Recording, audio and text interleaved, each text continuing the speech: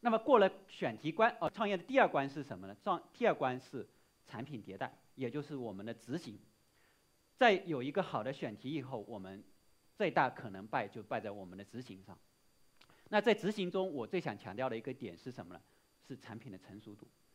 就很多公司会特别喜欢高举高打，在产品还没有非常成熟的时候，就会拼命的去做市场的推广。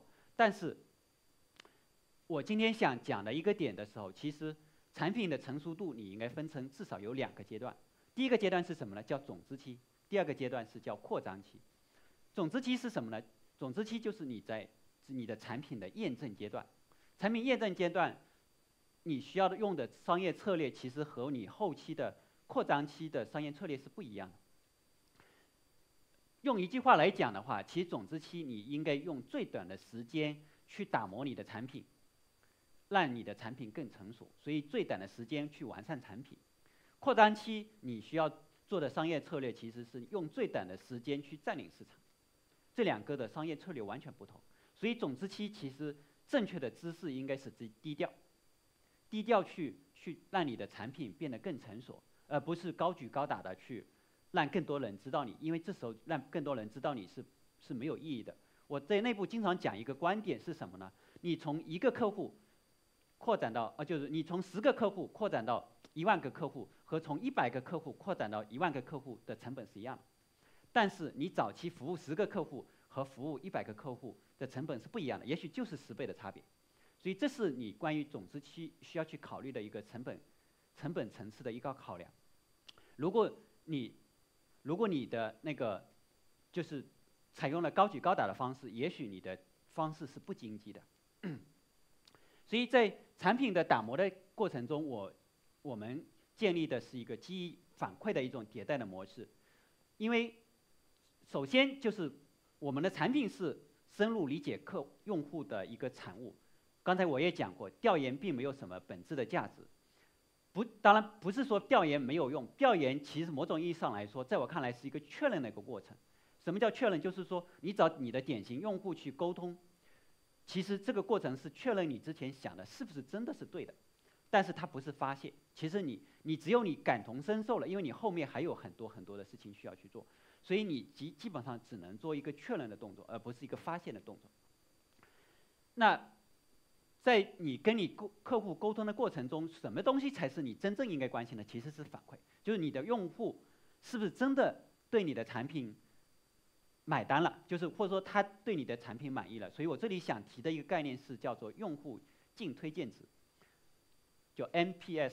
其实用一句简单的话来描述，就是用户有多喜欢你。这是产品成熟度的一个最根本的测量。只有在关注你的用户净推荐值，并且在基于这样一个反馈，就用户反馈对用户反馈的高度关注吧，去不断的改善和迭代你的产品。让你产品趋于一个，呃，一个阶段性的成熟，然后你再去推广，这时候其实你就能够轻，就是更加顺利的让你的产品能够站稳市场。当然，创业的还有我在我看来第第三关，但我没把它叫做第三关，是是我把它叫做第零关。为什么呢？因为这是其实是最基本的一个关，叫心态关。创业者其实，我觉得很多创业者能力都很强，能力强的一个人的最大的问题可能是会自视更高甚高，就是，但是我在我看来，就创业者最需要的就是一种，就是心态的调整。你能力以前是很强，但是你只是在一个公司里面的一个角角色的时候你很强，但是站在一个创业者角度来讲，你今天要构建一个商业的时候，你的心态必须是一种非常。空杯的一种心态，就是我这里把它归纳成四个意识。第一个危机意识，就是随时随地都要担心公司会倒闭，你要就是随时有一种忧患的意识。第二个是成本意识，你如何让你的公司的效率最大化，如何去更快速的往前走。第三个是服务意识，就是你如何去提供你的价值。第四个是生态意识。就是如何与更多的你的上下游去合作，而不是见谁都是对手，这样一四个心态。那我今天想着重讲的是关于成本意识。成本意识是什么呢？成本意识大家都很清楚，我们就多数人想到成本意识，首先想到是钱，对吧？大大多数人都会说啊，我钱花的有多快，这是成本意识。但是我今天想讲的，其实对一个创业公司，你构建商商业的过程中，其实最大的成本不是钱，是时间。时间成本才是最大的成本，这是每一个创业者心里要牢牢记住的。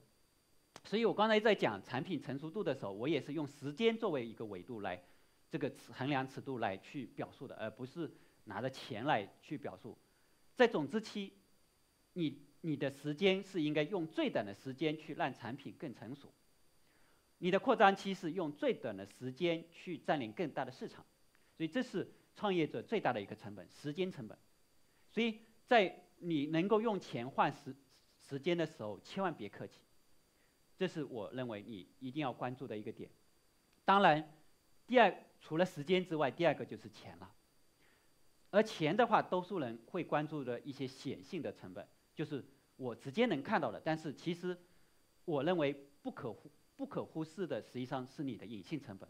那怎么，尤其是对于我们所谓的互联网公司来讲。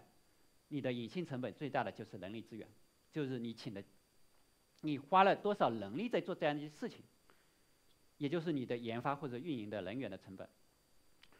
那大大多数人都很清楚，说我人肯定是要花的，但是你人是不是真的花在你真的要花的那个点上了？所以在清流我们内部其实也一直有一个观点是什么呢？我这也是也特别想跟每一个创业者分享的一个观点，就是。第一，你想清楚你的核心竞争力是什么？你在这个行业为什么能够站稳脚跟的点是什么？非核心竞争力相关的东西，能外包尽可能外包，就不要自己干。那么外包的选择，首优选云服务，次选开源项目，最后才选包给另外一家公司来干。这是我个人认为，就是外包的靠谱度其实。云云服务是最靠谱的，这是我们产业的分工不断不断在被证明的一个点。今天我不用展开去描述它了，就我当初刚创业的时候，可能要不断的去说服别人。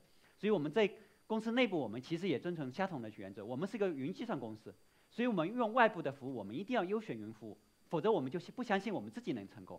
这是我们内部讲的比较多的一个逻辑。当然，我把它。